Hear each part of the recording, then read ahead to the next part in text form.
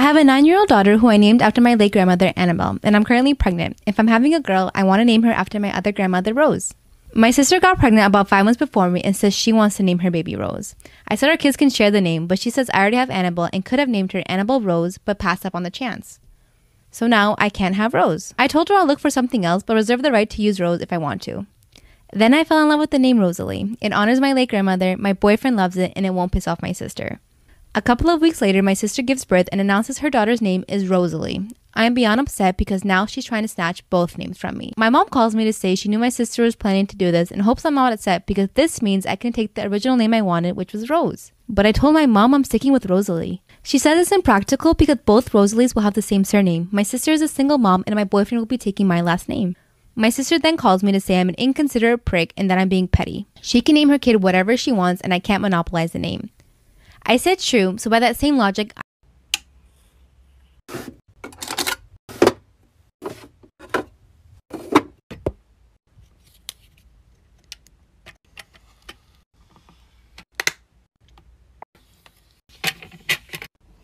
Today at work, I was trying to call my wife, but for some reason, my phone calls weren't getting through to her. So I used one of my coworkers' phones to dial my house number and call home. So I call home, and a sweet voice answers the phone. It's my daughter. I go, "Hey, cutie, how you doing?" She goes, "Hey, daddy, what's up?" And I go, "I'm just at work. Uh, what are you and mommy doing?" She says, uh, "Well, I just finished lunch, and mommy's upstairs." I go, "Cutie, what's mommy doing upstairs?" She goes, "She's with Uncle Paul." And I go, "Uncle Paul? We don't have an Uncle Paul. What do you mean?" She's like, "Yeah, she's with Uncle Paul. They're upstairs in their room." So I'm like, "Cutie, that doesn't sound right." So what I want you to do is, I want you to leave the phone on the kitchen table. Go upstairs to your mommy's room and say, "Hey, daddy just pulled in the driveway," and tell me what happens. All right? Did it and like a minute later she comes back and picks up the phone and goes okay daddy i did it. And i go okay what, what happened? She goes well mommy came running out of her room naked and she tripped down the stairs and bumped her head and now she can't get up. So i was like what about the other guy? And she goes well uncle paul tried to jump out of the window into the pool but he missed and hit the floor now he won't wake up. So i was like we don't have a pool. Then i look at the phone number and i was like oh sorry wrong number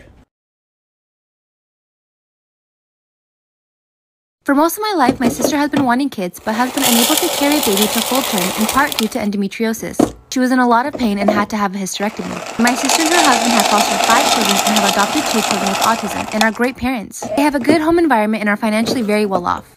But they've had the urge to have a kid biologically related to them. So they asked me to be their surrogate and said that they would cover all costs associated with it. They would also be paying off my student debt, renting a two bedroom apartment for three years, plus giving me a substantial amount of cash. I said sure, it'll be nine months of my life in exchange for being set up for quite some time, and my immediate family thinks it's a great idea.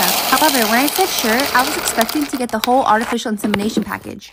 But my sister and brother-in-law have asked me to get pregnant the traditional way. The rationale is that one, is the cheapest way, two, they don't have to go to the hospital given the corona pandemic, and three, babies conceived naturally are healthier and the pregnancy would be safer. Am I going loony for thinking of going back on my word? Is their request reasonable? On the other hand, if I do give this up, I'm also passing up essentially $200,000.